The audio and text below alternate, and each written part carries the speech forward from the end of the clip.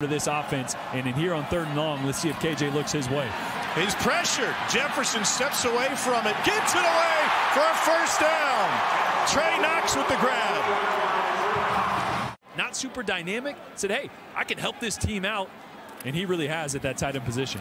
Jefferson escapes trouble and right through traffic like running down Dickson at midnight. And he's finally forced out of bounds by Shin Young. They brought Sanders in motion. Pressure from the right. Jefferson over the middle again. And that is held for a first down by Ketron Jackson. Jefferson's presence in the pocket. Now Arkansas going tempo. Well, that's a heck of a. Jefferson lobs it in zone over the shoulder. It's Matt Landers again. Touchdown Arkansas again. This last game, uh, game with a right shoulder injury, pressure from the right side. He evades it. Now he's got the sideline, and KJ Jefferson's going to scramble for a monster game on third down.